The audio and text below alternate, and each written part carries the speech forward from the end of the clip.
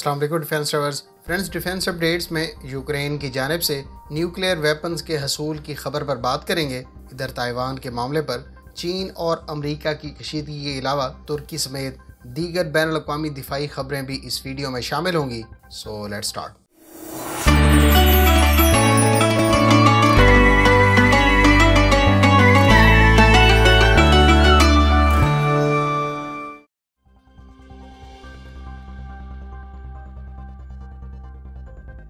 friends, Germany में Ukraine के सफ़ीर ने कहा है कि अगर हमें नेटो की तरफ़ से कबूल न किया गया तो रूस से अपने दिफा के लिए हम न्यूक्लियर वेपन्स के हसूल पर मजबूर होंगे। याद रहे कि वेस्टर्न मीडिया के मुताबिक तकरीबन अस्सी हज़ार से जायद रशियन ट्रूप्स यूक्रेन के साथ बॉर्डर पर मौजूद हैं। एक तरफ़ नेटो और अमेरिका इस मिलिट्री बिल्टअप पर तशवीश का इजहार कर चुके हैं तो दूसरी जानब रूस का कहना है कि हालिया ट्रूप्स बिल्टअप तीन हफ्तों पर मुश्तमिल मिलिट्री ड्रिल्स की वजह से है, क्योंकि रूस नेटो के जारहाना रवैये को लेकर खतरात से निमटने के लिए कॉम्बैट रेडीनेस को टेस्ट करने के लिए ये मशक़ें मुनद कर रहा है। यूक्रेन के सफ़ीर ने मजीद कहा कि हम या तो नेटो लाइक इतिहाद का हिस्सा हैं, जो यूरोप को मज़बूत और कॉन्फिडेंट बनाने की कोशिशों में है, या फिर हमारे पास एक ही ऑप्शन है कि हम न्यूक्लियर स्टेटस के लिए दोबारा सोचने पर मजबूर हों। उनका कहना था कि इसके बगैर हम कैसे अपनी सिक्योरिटी यकीनी बना सकते हैं। एक और खबर के मुताबिक यूक्रेन के वज़ीर दिफा ने ब्रसल्स में यूरोपियन पार्लियामेंट से खिताब में कहा है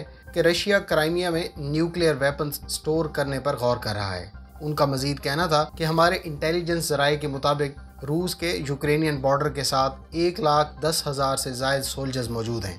हालिया तादाद दूसरी जंग अजीम के बाद रशियन ट्रूप्स की सबसे बड़ी मूवमेंट है। इधर रूस के वज़ीर दिफा ने भी कहा है कि नेटो भी ब्लैक सी और बाल्टिक रीजन में चालीस हज़ार ट्रूप्स और पंद्रह हज़ार से जायद मिलिट्री इक्विपमेंट डिप्लाई कर रहा है।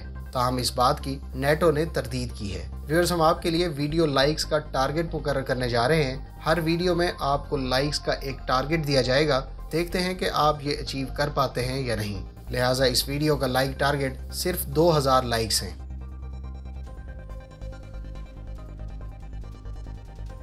फ्रेंड्स, इतलात के मुताबिक साउथ कोरिया और इंडोनेशिया आपस में माहदे के करीब हैं, जिससे इंडोनेशिया फिर से के एफ़ एक्स प्रोग्राम में भरपूर शिरकत कर सकता है। इस बारे में इससे पहले पाँच मरतबा बातचीत के राउंड हो चुके हैं। हालिया डेवलपमेंट से पहले इंडोनेशिया की जानब से इस आठ बिलियन डॉलर के प्रोजेक्ट में तयशुदा बीस फ़ीसद अखराज में ताखीर को लेकर खदशा ज़ाहिर किया जा रहा था कि शायद इंडोनेशिया इस प्रोजेक्ट में इंटरेस्टेड नहीं। ताहम इंडोनेशिया के वज़ीर दिफा की के एफ़ एक्स या के एफ़ ट्वेंटी वन के पहले प्रोटोटाइप की रोल आउट तकरीब में शिरकत से इस पार्टनरशिप पर आगे बढ़ने में पेश रफ्त हुई है।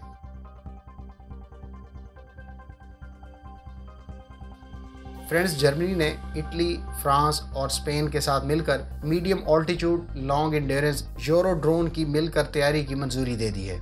आने वाले दिनों में चारों मुल्कों की ऑर्गेनाइजेशन फॉर ज्वाइंट आर्मामेंट इसके अलावा एयरबस, लियोनार्डो और डिसॉल्ट के दरमियान इस बारे में मुश्तर माहे पर दस्तखत मुतव हैं। यूरो ड्रोन जिसको European MALE remotely piloted system भी कहा जाता है, इसी तरह से माजी में इसको मेल 2020 यूरो मेल भी कहा जाता रहा है। लेकिन इसको अभी तक कोई बाकायदा डेजिग्नेट नहीं किया गया। वाज रहे कि ये चारों ममालिक फ्यूचर कॉम्बैट एयर सिस्टम के तहत नेक्स्ट जनरेशन एयरक्राफ्ट भी तैयार कर रहे हैं।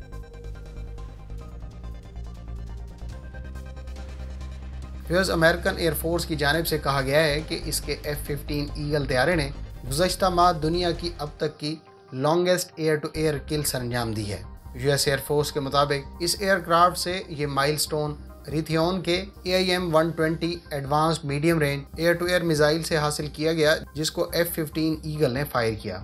गो के इस टेस्ट के बारे में कोई डिस्टेंस बयान नहीं किया गया ताहम यूएस एयरफोर्स के मुताबिक इस मिसाइल ने मार्च में टेस्ट के दौरान B Q M one sixty seven target drone को कामयाबी से हिट किया। वाजह रहे कि यूनाइटेड स्टेट्स इस वक्त A I M two sixty पर भी काम कर रहा है, जिसको बुनियादी तौर पर A I M one twenty को रिप्लेस करने और Chinese P L fifteen missile के रिस्पॉन्स में तैयार किया जा रहा है। एन मुमकिन है कि यूएस एयरफोर्स ने A I M two sixty को टेस्ट किया हो, लेकिन इसका नाम डिस्क्लोज नहीं किया गया। फ्रेंड्स ये भी हो सकता है कि ये air to air missile A I M one twenty का डी वर्जन हो, जिसकी मैक्सिमम रेंज 160 किलोमीटर बताई गई है। आप इस बारे में क्या राय रखते हैं कमेंट करके ज़रूर बताइएगा।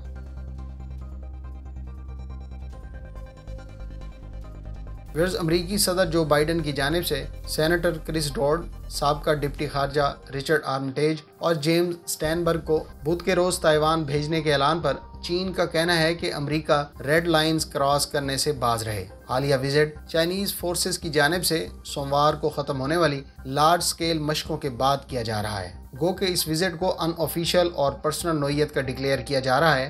ताहम माहरीन के मुताबिक ये पर्सनल से ज़्यादा एक ऑफिशियल विज़िट है, क्योंकि इसमें सदर जो बाइडन के क्लोज फ्रेंड्स भी शामिल हैं। चीन ने कहा है कि हम अमेरिका से एक मरतबा फिर कहते हैं कि वो इस मामले में ना पड़े वरना चीन के अमेरिका से ताल्लुकात और ख़त्े में पीस और स्टेबिलिटी को पहुँचने वाले नुकसान का जिम्मेदार अमेरिका होगा।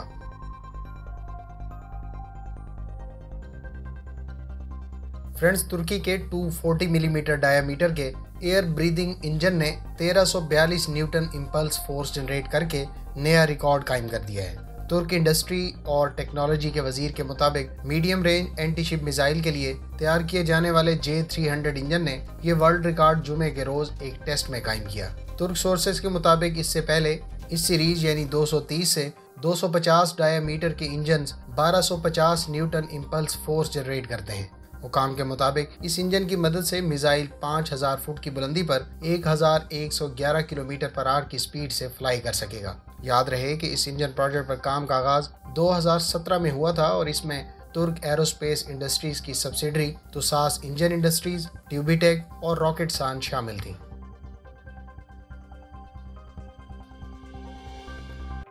फ्रेंड, साउथ कोरियन अस्करी हुकाम का कहना है कि वो मशरकी सरहद पर मसनू जहानत, यानी आर्टिफिशियल इंटेलिजेंस से लैस सिक्योरिटी सिस्टम को इंस्टॉल करेंगे। इस इंस्टॉलेशन का मकसद ये है कि किसी भी किस्म की क्रॉस बॉर्डर मूवमेंट को ट्रैक किया जा सके। साउथ कोरियन मिलिट्री ऑफिशियल्स ने यह फैसला एक 20 साल लड़के की नॉर्थ कोरिया से साउथ कोरिया में बॉर्डर से दाखिले के बाद किया है।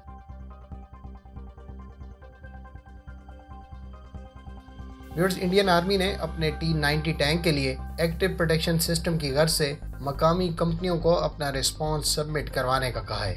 इंडियन आर्मी के जेर इस्तेमाल टी नाइन्टी टैंक के मुख्तलि वर्जन के लिए टोटल आठ सौ अठारह modular active protection system supply करने को कहा गया है। कंपनीज़ को एक्सप्रेशन ऑफ़ इंटरेस्ट जमा करवाने के लिए 12 मई तक का टाइम दिया गया है। फ्रेंड्स, ये थी आज की डिफेंस अपडेट्स आपको इन खबरों में से कौन सी खबर अच्छी लगी कमेंट बॉक्स में इसका इजहार ज़रूर करें। मिलते हैं नेक्स्ट वीडियो के साथ। अपनी दुआ में याद रखिएगा। अल्लाह हाफिज़। पाकिस्तान, जिंदाबाद।